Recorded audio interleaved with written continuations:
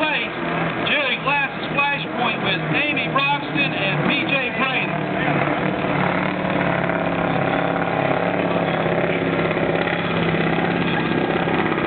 It broke something.